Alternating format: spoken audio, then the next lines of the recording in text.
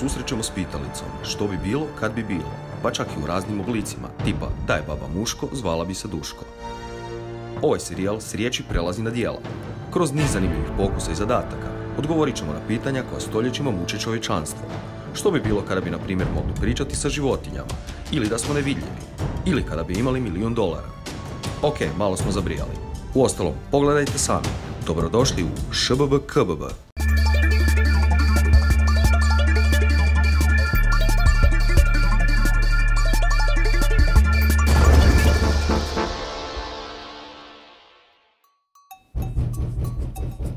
Ko je? Čekaj. Samo malo. Što vi radite tu? Dobar Dođite tu u sobu.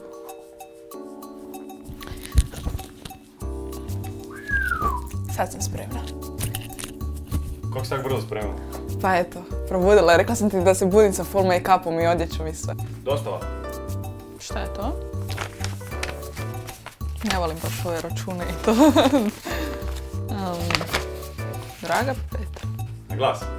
Draga Petra, dobrodošla. Došao je tvoj red za sudjelovanje... Čekaj. Došao je tvoj red za sudjelovanje u ŠBBKBB. Epizoda broj 6. Šta bi bilo kad bi bilo uh, jedan dan kao pilot. Šta? Nije mi jasno, samo malo. U ovoj epizodi s tobom rješavamo pitanje koje vječno muči sve ljubitelje dobrih e, trilera. Može li običan putnik upravljati avionom i postati heroj? Pa, ne.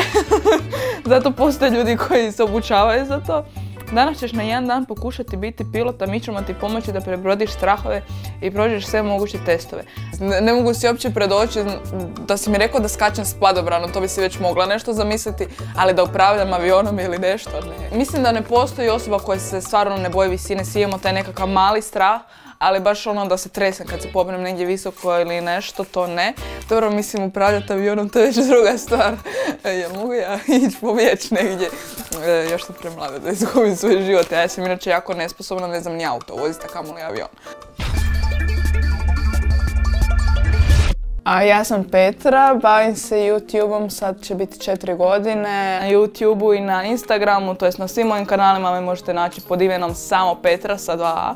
A, imam 18 godina i sa YouTube-om sam se počela baviti e, zato što sam pratila uvijek svjetske YouTubere i tu još nije to bilo razvijeno i htjela sam dovesti nešto novo na našu scenu. Najviše vremena provodim na Instagramu, gdje se najviše posvećujem uh, šminkanju i modi. Na Instagramu imam 340 tisuća followera, a na YouTubeu 152, ja mislim. Život mi je pun svega, izazova, avantura i YouTube mi je zaista promijenio život za 360, 80. ja sam jako tvrdoglava osoba, komunikativna i zabavna, barem mi to prijatelje govore, neću ja to sama za sebe reći.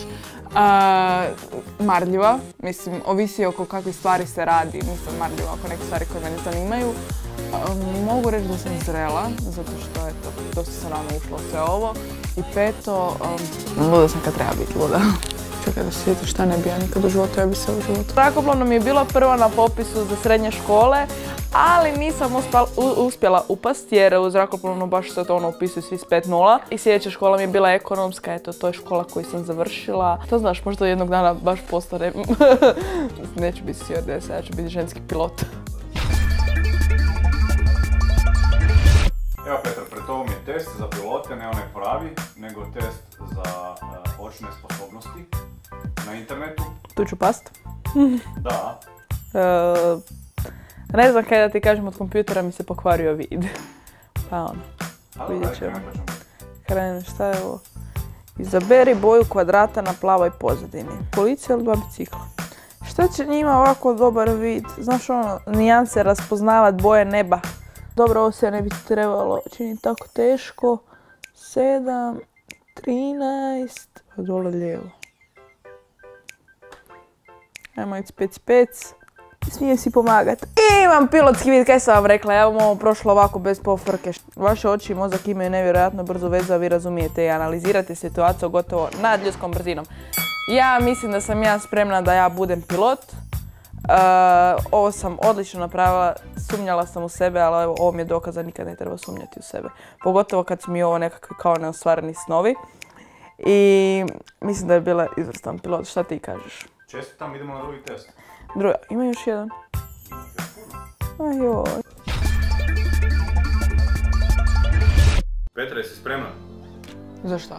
Imamo put iznenađenja za tebe, imaš 20 sekundi da se spremiš. Sad! K- ka- mogli ste mi prije reći, a kam idemo? Kak da se obučem? pravog pilota čini samo, kako smo rekli, koordinacija ruku, nogu, bistre glave, brzog donošenja odluka, znači nema straha od visine, fizička sprema, mentalna sprema. Jednostavno morate se roditi za to. Evo, šminku ćeš mi pokvariti. Daj mi ruku barem. Ja sam smotana.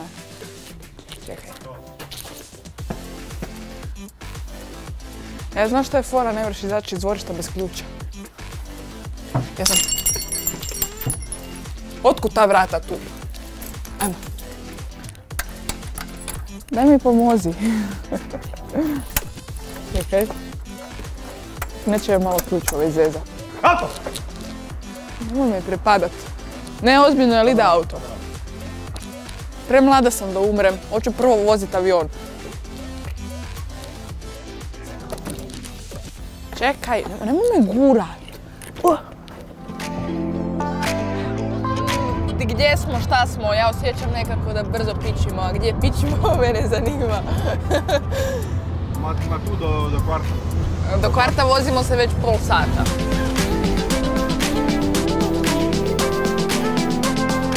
Jesmo stigli.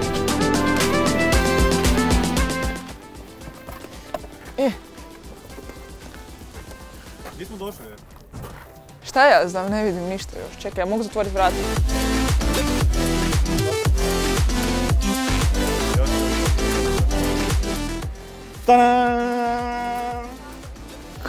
Koji k***. I, kaj, I šta bi ja sad trebala s ovom provalijom? Ja? Ja da se nečeg bojim? Ne, nego jednostavno imam taj nela- nelagodan osjećaj neki koji... Znaš kolika je dubina dole? Ne. 100 metara. Pobjedi strah od visine. Kako to lagano samo zvuči.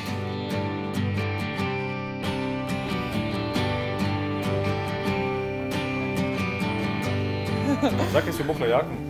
Rekla sam zato što mi strah buba, da se neka buba ne bi skucala. Ja inače imam jako veliki strah od prirode općenito. A ja imam problema sa srčakom, ja ne bi trebala baš ići na zipline. Neće mu niš biti valjda. Uzbuđena. Tamo, nije, nije toliko ona. Odlično. Više sam uzbuđena. Mama, ja idem doma. Prvi po redu mi je strah a, pada s avionom. Znači, Kako zanimljivo. Ja ćete mu reći koliko otprilike imate kila, tako da ja mogu pripremiti kočnicu. I to je to. ne znam koliko U nikom slučaju nemojte Kaj popuštati ne takvu želiš sajevu. nego ne znam. Mogu ja pretpostaviti.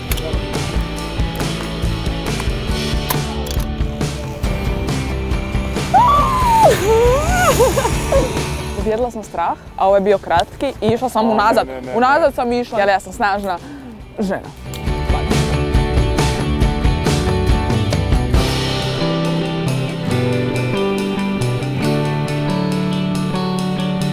Ti pići! Jel sve okej? Je, malo sam se zalaupala. Da ovo nije bio big deal, ali ovo će biti big deal. I pogotovo ona najduža. Ko me nagovori na ovo? Mama!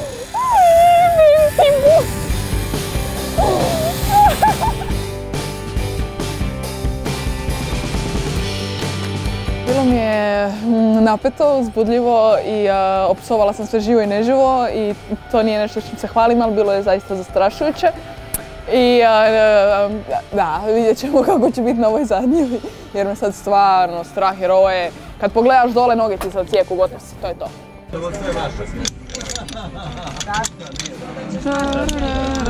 Mogu? Petra, aj bok je. Haj bok. Ne, ne, ne. Krenula taman ono prvi par centimetara i ovaj kaže kako se zove da, ne, ne, ne. Ja sam se ispaničila, ja sam izokrenula.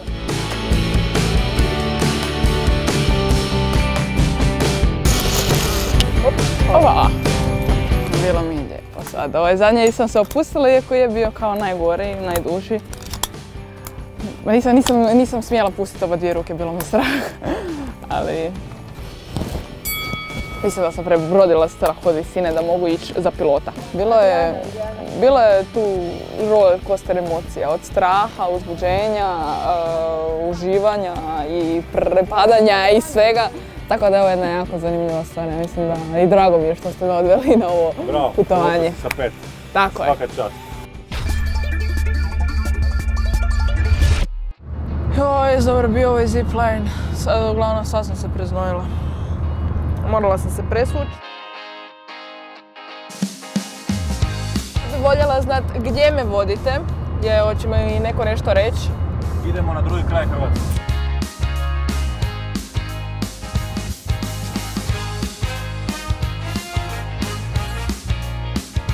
Gdje smo, šta smo, ja ne znam, ništa. Došli u Heli centar Toplice, Krapinskim Toplicama, centar za obuku pilota helikoptera. Dobro. Znači mi imamo dva simulatora na kojim radimo obuku, Full Flight Simulator i FMPT, Flight Navigation Procedure Trainer. Sve sam To se razumjela. To ćete sve vidjeti uživo, kad ćete doći dalje. Dobro. Zašto mi ovo nisi rekao prije? Zaki, kad bi se pripremala? Pa mislim, malo možda psihički, ali dobro, meni je ovo zanimljivo, ajde. Ovdje dolaze najbolji piloti helikoptera i civilni i vojni kako bi se izvučili. Pa ćeš se tako morat izvučiti ti. Ja vam bila najbolja. ne znam kako da se pripremim na najgore situacije poput umiranja, ali dobro vidjet ćemo. Valjda ću to dobro odraditi. Prebrodila sam strah od visine, tako da mislim da sad mogu krenuti i malo učit kao ne znam šta radim još. Ovo je Full Flight Simulator. Ovo je jedan od svega par na svijetu koji su certificirani i ovo vam je 99,9% pravi helikopter. Možda sam si našla buduće zanimanje ako neću više biti youtuber u životu. Princip rada je da se ovaj most digne u zrak, imate se cirka metar i pol u zrak i radno područje mu je metar, gore, dole, lijevo, desno, znači 6 stupnjeva slobode, ajmo reći. Veliko platno iskrivljeno, ajmo reći filmsko, koje vam tvori sliku i prava kabina. I zapravo najbolje je da to ovaj probamo. Na njemu se rade obuku piloti e, najviše u vojske, jer se koriste najviše u vojne svrhe. Vojske iz cijelog svijeta dolaze tu na obuku. I uzbuđena sam i strah me jer eh, da se ne bi slupala kao u simulatoru, ali uglavnom vidjet ćemo sve. Ideš. Treba ići. E, krakata. Isuse. Ovo je tako realno. U jednom trenutku ti budem samo ostavu kontrolu. Svaki pilot mora odraditi određeni broj vježbi sigurnosnih koje ne mre odraditi u letu na pravom helikopteru. Dobro, i šta sad trebam raditi? Lagano gore, kad na ljubim daješ snagu, znači iz desne strane je Soči, ispred nas je aerodrom, idemo lagano doma. Evo, izgubili smo jedan motor, čekaj. Drugi, op. Op. E, šta se dešava? Ostali smo bez oba motora. I to nije dobro. Hoćemo poginuti. Moramo se spremiti za autorotaciju, preuzmi i slušaj me, radit ću sve tu okej? Ok. Ok, znači moramo smanjiti brzinu prvo, jer smo prebrzi. To smanjujem sa lijevom. Znači moramo smanjiti brzinu i propadanje nam mora biti kontrolirano. Znači gledaj instrumente.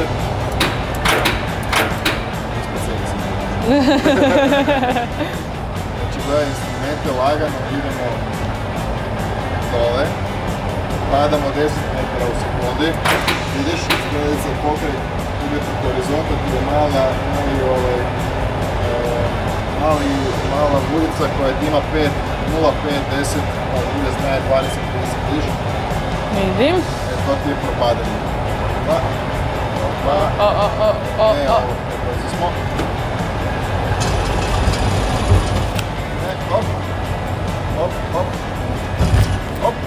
Preživjeli smo. Ako se ne skucamo u stup. Ako se ne skucamo. Evo nas, preživjeli smo. Bravo. E, ovo je jednostavno iskustvo koje, ja mislim da svatko ko voli letove, avanture, helikoptere, avione, bilo šta šta leti, da ovo mora proživjeti. Znači, toliko realno Pa bo- bolje od 4D-a definitivno, ja ne znam ko je ovo je 6D. Naučila sam nekoliko stvari, tipa kojom brzinom se spuštamo, letimo, e, koliko smo iznad zemlje, tako da mis- mislim da bi se dobro snašla u ovome, naravno trebalo bi mi treninga još puno. Tada!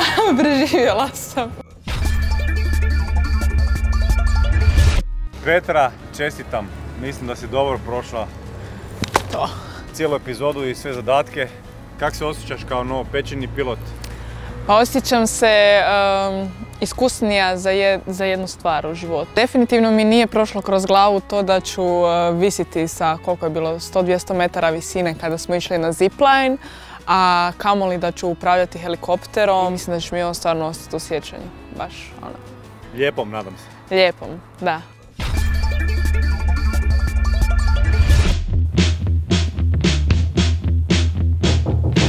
Ko je?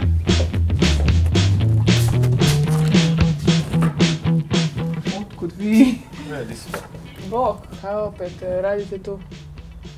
Pa došli smo te posjetiti malo.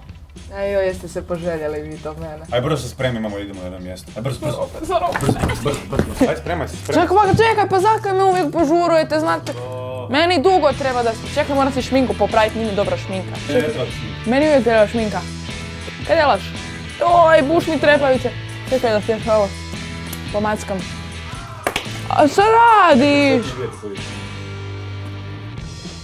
Kako volim kad me ovako utrpavaš u auto. E, imat ću traume od vas.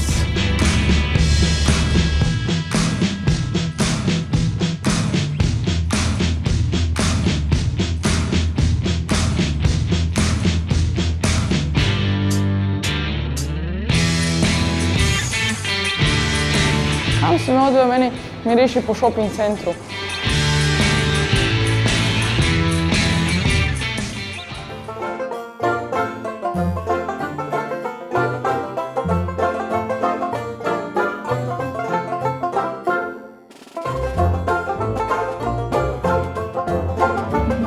Jel to to? To je ovo iznenađenje veliko. Razočarali ste me. Draga Petra, prosti, ali danas si zapravo proživjela pravi dan pilota. Zašto? Zato što zbog lošeg vremena je naše iznenađenje propalo. Naime, imali smo dogovor sa pravim pilotom i sa pravim avionom letjeti iznad Zagreba, odnosno da ti uzmeš palice u ruke i da sama voziš avion, odnosno naravno uz instruktora. S Da. obzirom zbog vremena da nismo mogućnosti to obaviti, dobila si ovu jednu nagradnu vožnju. Hvala vam. Mislila sam da se baš ne bojim visine, ali kad smo išli na onaj prvi zadatak na zip line i kad sam bila iza- nad onog kanjona, to je pogotovo ona četvrta linija, nije mi bilo sve jedno. Ali kad smo bili u heli centru u Krapinskim toplicama, stvarno sam vidjela sve one moguće tipke i sve je to bilo jedno jako. Ja mislim da mi je to bio highlight svega. Shvaćam da stvarno nije lak posao. Mislila sam da je puno lakše tipo upravljati helikopterom. I žao mi je što nismo ovo zadnje uspjeli obaviti, što nisam mogla actually letiti pravim avionom, ali eto ga, ja mislim da i ona je igračka da je bila zanimljiva. Shvatila sam da ipak i dalje u sebi imam tu nekakvu emociju prema zrakoplovstvu i astronomiji. Ne znam jel bi mogla baš ići u pravi. Bilo bi me strah, ali opet mislim da sam kroz cijelu ovu epizodu e, malo ipak dobila povjerenje u sebe i svoje sposobnosti.